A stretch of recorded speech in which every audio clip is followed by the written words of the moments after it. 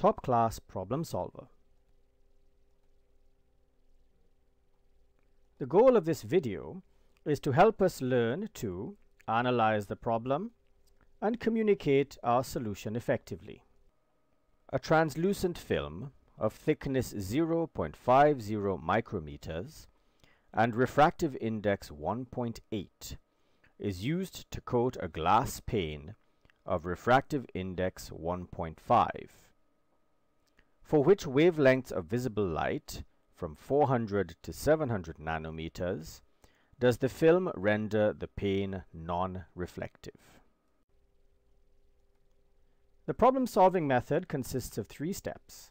The first step is interpretation of the problem. Then we devise a strategy, and then we execute our strategy. The first step of the interpretation is to identify the concept embedded in the problem. The use of the word film here implies that this is a problem in interference due to reflection.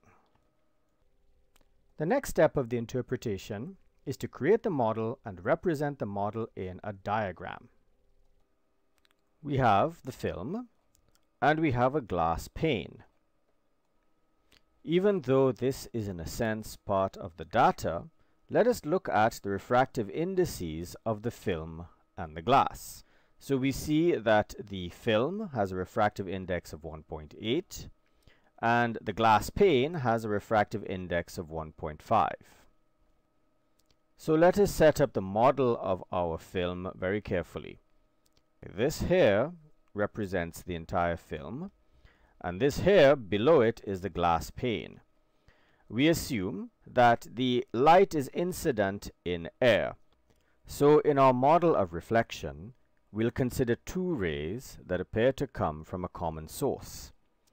The first ray, which we'll call ray 1 and which we'll sketch in blue, is reflected off the front surface of the film to the observer. The second ray, in red, which we'll call ray 2, is reflected off the back surface of the film and to the observer. It's worth pointing out here that the rays actually go in and out of the film along one dimension. We draw the rays with a slight offset in order to distinguish them clearly. The interference in question will come from the interference between these two rays, 1 and 2. At this point, we consider the refractive indices at each of the two surfaces. This will determine what type of reflection we have for each ray. For the first ray, we notice that it goes from a medium of low refractive index to a medium of a relatively higher refractive index. In the second case, we see that it is incident in the high refractive index and reflects off a surface of lower refractive index. For both interfaces, we'll represent the side with the higher refractive index by these hatched lines.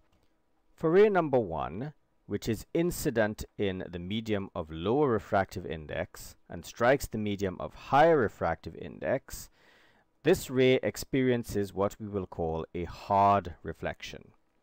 For a hard reflection, a sinusoidal wave experiences a phase shift of pi upon reflection. The second ray is incident in the medium of high refractive index and reflects off the medium of low refractive index. That type of reflection we will call a soft reflection. For a soft reflection, the sine wave experiences a phase shift of zero at reflection. The third step of the interpretation is to extract the data carefully from the problem. So at this point, we'll record the actual refractive indices of the film and of the glass pane. We'll also record the thickness of the film.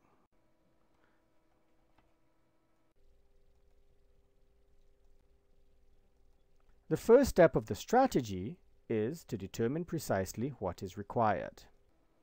So we need to find the wavelengths of visible light confined to the range 400 to 700 nanometers, for which the pane becomes non-reflective. So we write all this information as that which is required. The second step of the strategy is to construct the concept map. The concept map relates the parameters that are given in the problem and the required parameter. The core of the solution is that the type of interference that we have is determined by the phase difference delta phi between the two rays arriving at the observer. This delta phi in turn is potentially determined by three possible sources of the phase difference. The first consists of a geometric path difference between the paths taken by the two rays. I have denoted that as delta phi geo, but also as in the case of the thin film problem that we have, this geometric path difference is altered by the presence of an intervening medium. So I call this delta phi geomed. The second potential source of phase difference is what's happening at the source. And the third is because of reflection. In this problem, we want the pane to be non-reflective. For the pane to be non-reflective, it means that the reflected light must experience destructive interference. So our overall phase difference must reflect the condition for destructive interference between our two reflected rays. We see that the reflected phase difference depends on the phase change experienced by each of our two rays 1 and 2. Our geometric phase difference is determined by the geometric path difference delta r. It will also be determined by the refractive index of the intervening medium. And finally, it will be affected by the wavelength of the light. The third step of the strategy is to create an action plan based on the concept map we will actually move through the problem in a forward direction. Thus, the first step would be to find the phase difference due to the geometric path difference between the two rays. The second step would be to find the phase difference due to reflection. The third step would then be to find the overall phase difference and the fourth step would be to write down the condition for which we have destructive interference between the two rays.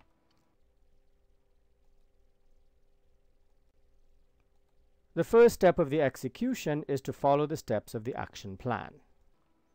The first step is to find the phase difference due to the geometric path difference between the two rays. Well, in purely geometric terms, this path difference is twice the thickness of the film. But because this entire path difference takes place within the second medium, we have to multiply it by the refractive index of the film. This gives us the value that we have over here.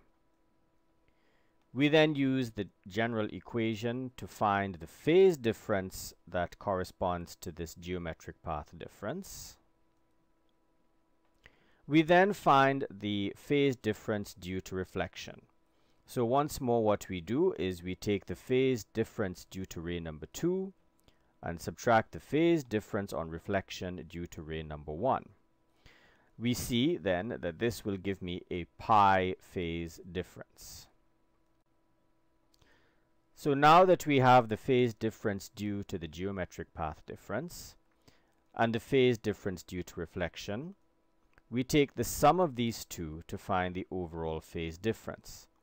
We notice for this problem there is no phase difference due to the sources. This is because the two rays emanate from a common source.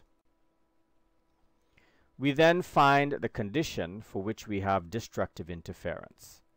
So first of all, we write down the general equation for destructive interference in terms of phase. This is that the overall phase difference must be an odd multiple of pi. When we substitute from our previous line, we obtain this. We will then remove the common factor pi. We then subtract 1 from both sides of the equation. On the left hand side, we've therefore removed this one over here. On the right hand side, instead of having an odd integer, we now have an even integer. We then divide both sides by negative 2, and on the right hand side, therefore, instead of having an even integer, we just have m as an integer. We are therefore left with the following condition for lambda, namely that lambda is equal to 1800 nanometers divided by any integer m.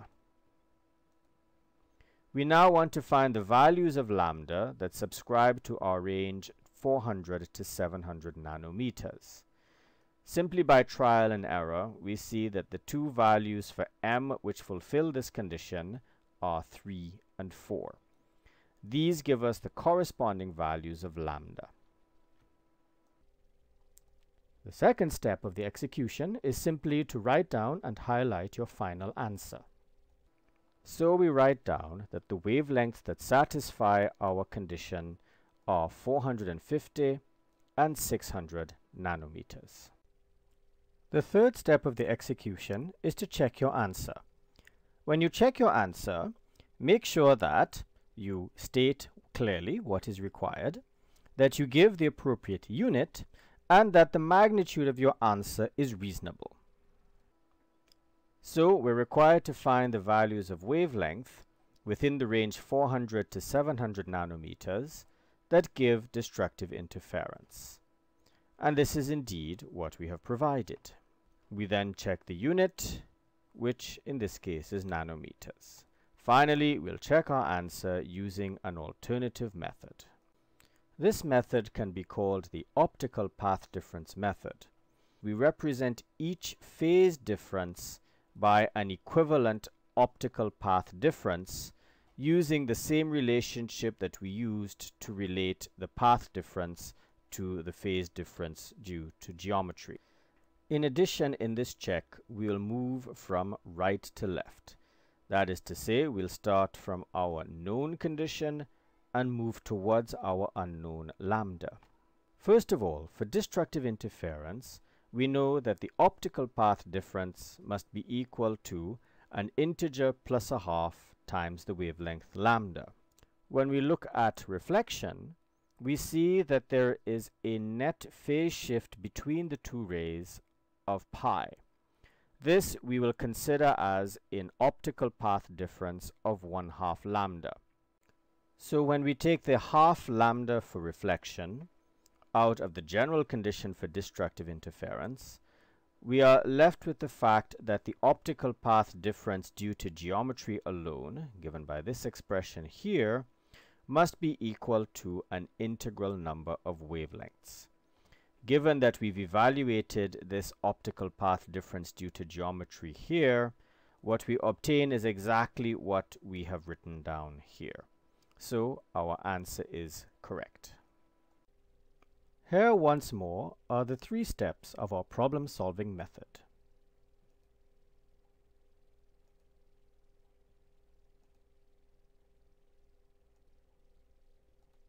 Thank you for watching.